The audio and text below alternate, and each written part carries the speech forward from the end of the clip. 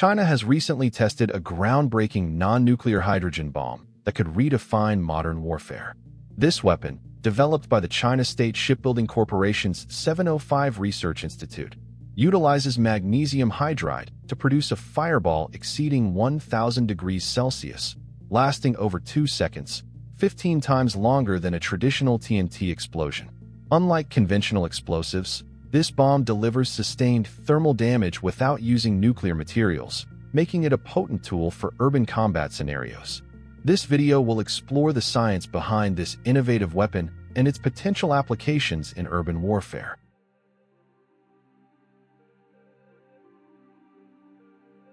At the core of China's new non-nuclear hydrogen bomb is magnesium hydride, MgH2, a solid-state hydrogen storage material. When detonated, magnesium hydride undergoes rapid thermal decomposition, releasing hydrogen gas that ignites into a sustained fireball. This reaction generates temperatures exceeding 1000 degrees Celsius, sufficient to melt materials like aluminum alloys. The explosion lasts over two seconds, significantly longer than the 0.12 second flash of a TNT blast, allowing for extended thermal damage across a wide area. The bomb's design enables precise control over blast intensity. Unlike traditional explosives that rely on high-pressure shock waves, this weapon produces a lower peak blast pressure, about 40% that of TNT at 2 meters, but compensates with prolonged heat output. This sustained thermal effect can be particularly effective in targeting structures and equipment without causing widespread destruction. Another striking feature is the weapon's multi-phase combustion sequence. After the initial detonation fractures the magnesium hydride, the released hydrogen combines with ambient oxygen to ignite, but the process doesn't stop there. Remaining magnesium particles continue decomposing, feeding the fireball in a controlled feedback loop. This staged ignition mechanism not only extends burn duration, but also distributes heat more evenly across the target zone. Such an effect is rarely achievable with conventional munitions and adds a new layer of tactical versatility. The development of this weapon involved overcoming significant challenges in producing magnesium hydride. Previously, manufacturing this material was limited to laboratory-scale quantities due to its high reactivity and the extreme conditions required for synthesis. However, China has established a facility in Shaanxi province capable of producing 150 tons annually using a one-pot synthesis method. This advancement ensures a steady supply of magnesium hydride for potential military applications. The successful test of this non-nuclear hydrogen bomb represents a significant leap in military technology.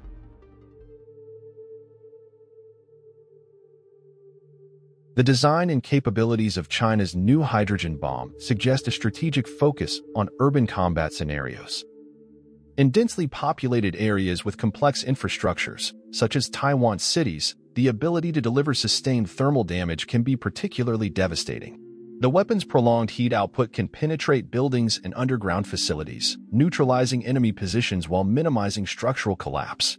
Taipei's urban environment characterized by high-rise buildings and extensive underground networks, presents both challenges and opportunities for military operations. The bomb's capacity to generate intense heat over a sustained period makes it suitable for targeting fortified positions, bunkers, and subterranean defenses. This approach aligns with tactics observed in other conflicts, where thermobaric weapons have been used to clear fortified urban areas.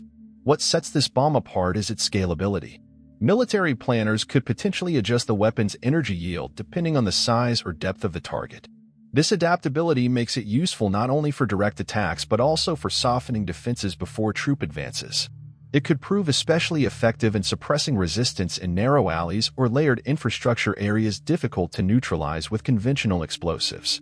Additionally, the weapon could serve to deny safe zones, contaminating underground shelters and command centers with extreme heat and oxygen depletion, rendering them uninhabitable for hours. In such cases, even heavily armored units may struggle to maintain their positions. The psychological impact of such a weapon cannot be understated. The sight and experience of a prolonged, high-temperature explosion could demoralize enemy forces and civilians alike. This psychological warfare component adds another layer to the bomb's strategic value, potentially compelling adversaries to surrender or retreat without prolonged engagement. China's development of this bomb indicates a preparedness for potential urban engagements where precision and psychological impact are crucial.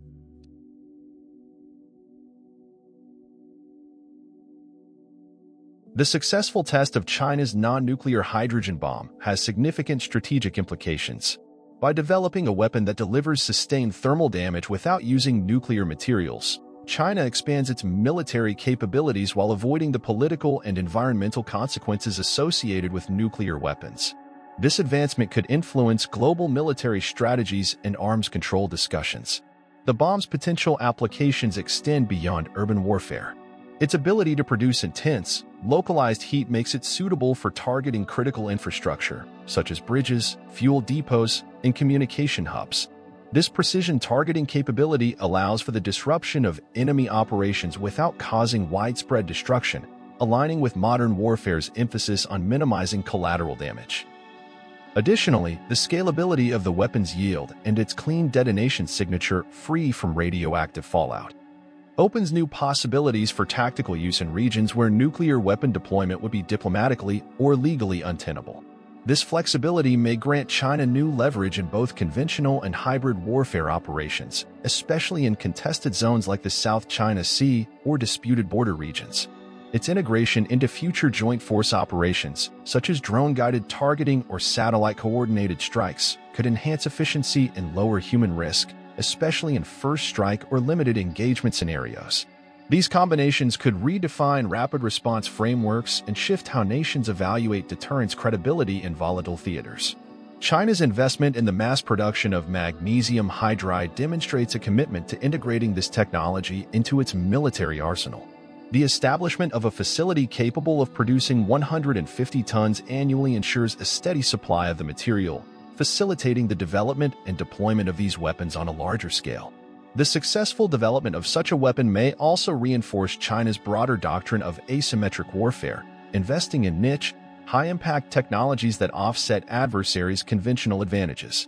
In this sense, the hydrogen bomb fits within a pattern of Beijing prioritizing innovation in cyber, space, and AI-based systems as part of its informatized warfare model. The introduction of this weapon could prompt other nations to explore similar technologies, potentially leading to a new arms race focused on advanced non-nuclear explosives. This development raises questions about existing arms control agreements and the need for updated regulations to address emerging military technologies. China's non-nuclear hydrogen bomb represents a significant advancement in military technology. Its development and potential deployment could reshape modern warfare, influence global military strategies, and necessitate a re-evaluation of international arms control agreements. China's successful test of a non-nuclear hydrogen bomb signals a major leap in military innovation. Using magnesium hydride to generate prolonged, high-temperature blasts, the weapon offers a scalable, non-nuclear alternative with powerful tactical impact. Its precision and psychological effects make it ideal for urban warfare and infrastructure targeting. This advancement could shift military doctrines, prompting nations to rethink conflict strategies and non-nuclear deterrence. As the global community watches closely, the rise of such weapons may demand urgent updates to arms control frameworks, ushering in a new chapter in the evolving landscape of modern warfare. If you enjoyed this video, don't forget to like, share, and subscribe for more updates on space exploration and scientific discoveries, and don't forget to leave a comment below. Also, you can visit our website, spaceeyenews.com. Thank you for watching, and see you next time.